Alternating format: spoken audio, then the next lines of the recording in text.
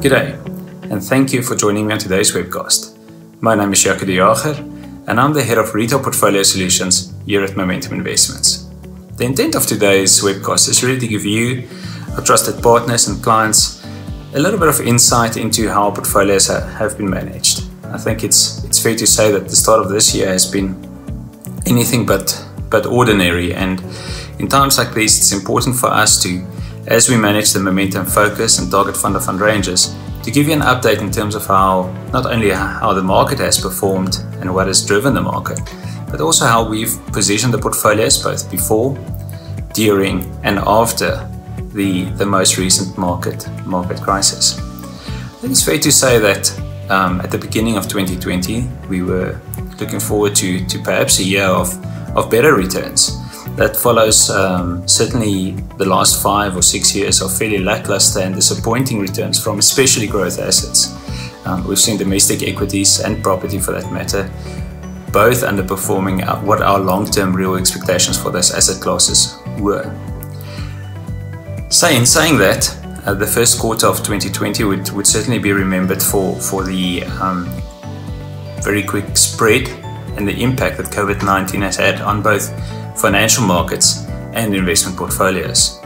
As the pandemic spread from east to west, we saw domestic equities sell off in, in line with global equities, as both these asset classes lost close on 25 or 26% in base currency terms.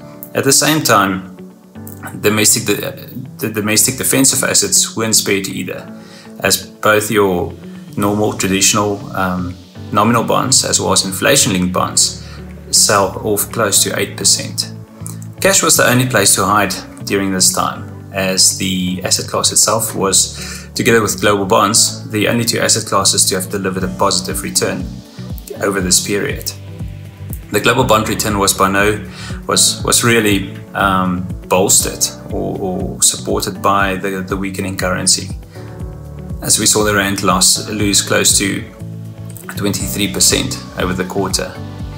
As we look at the portfolio um, positioning um, going into the crisis, uh, as I mentioned, we, we were more neutral in terms of growth versus defensive assets. And within growth assets, um, our preference was certainly for domestic equities over domestic properties. Um, we have, since the latter part of 2018, held the view that there was a fair amount of risk uh, embedded within the property sector, and we've expressed that risk view um, with an overweighting to domestic equities rather than, than property.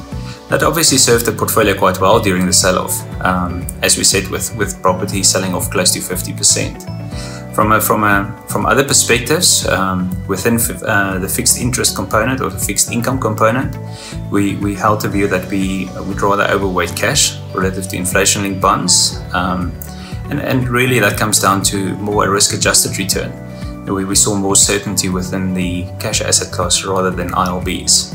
At the same time, we, we also held, held an overweight exposure to global assets, which we felt uh, provided more diversification and greater, greater upside. Now, all those four factors um, all benefited the portfolio during the sell-off. of course, however, as we look at these portfolios and given their positioning for um, for the real return expectations, it's fair to, to also at the same time point out that these portfolios generally held a larger growth exposure than some other funds in the market.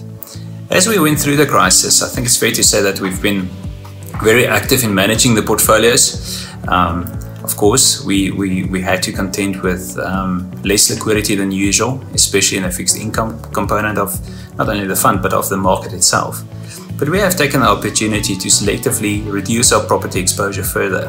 And this is really on the back of deteriorate, deteriorating fundamentals for the, for the asset class and the sector itself, especially as the effects of the COVID-19 and the subsequent lockdown started to emerge more and more. So as we've reduced the property exposure, we've, we've taken the opportunity to redeploy some of those assets into more defensive um, asset classes and strategies, on a fixed income perspective.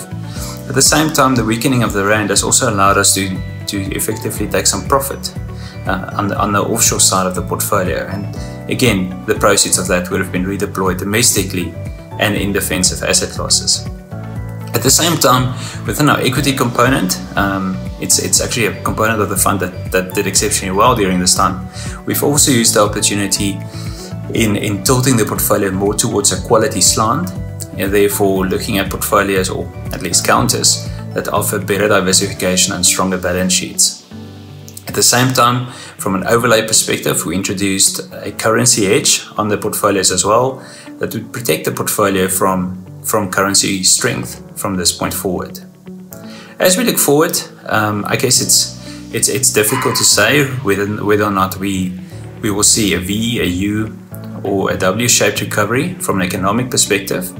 Momentum's base case at this point in time is for a U-shaped recovery, which which really lends itself to a more protracted um, recession over the next couple of months. And as we go into quarter three, um, for us to see some some uptick from an economic perspective.